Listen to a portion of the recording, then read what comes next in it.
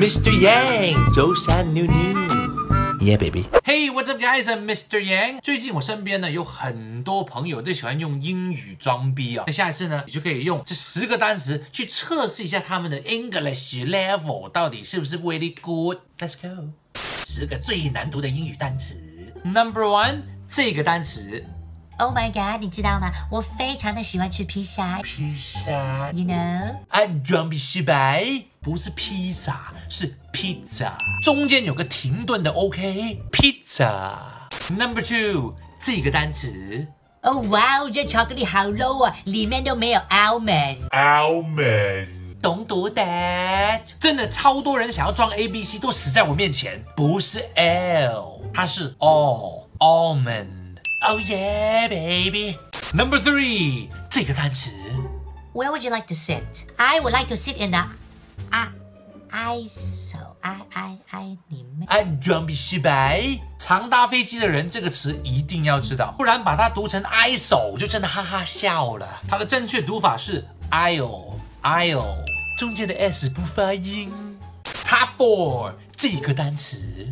你看一下我的 Chanel 包包是不是很 comfortable？Comfortable？i 装 d r u s h y 首先，它不是 Chanel，它是 Chanel。而且这个单词是只有三个音节，OK？是读 comfortable，comfortable。上妈妈 b e a c h Top five 这个有没有试过读文章的时候呢？突然间就冒出这个 E T C。你读啫。There are so many seafoods like crab, shrimp, egg.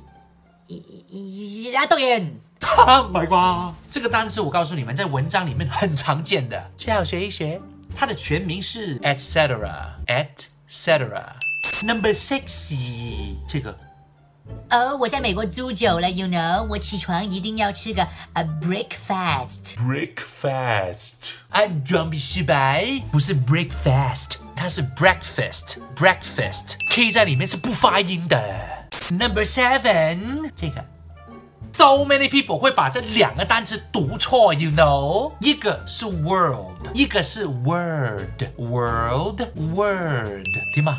读完系咪有死亡嘅感觉啊？第八，这个自称自己英文很好的人，你要小心一点了，给他这个单词念一念，你就知道他的水平在哪里了。正确的读法，jewelry，jewelry。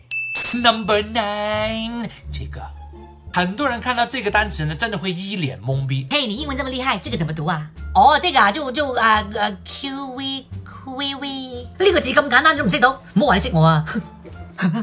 它 是读 Q Q。Oh yeah, baby。Number ten，这个，爱喝咖啡的人呢，就一定要知道这个词怎么读了。很多人都会把它读成 Espresso。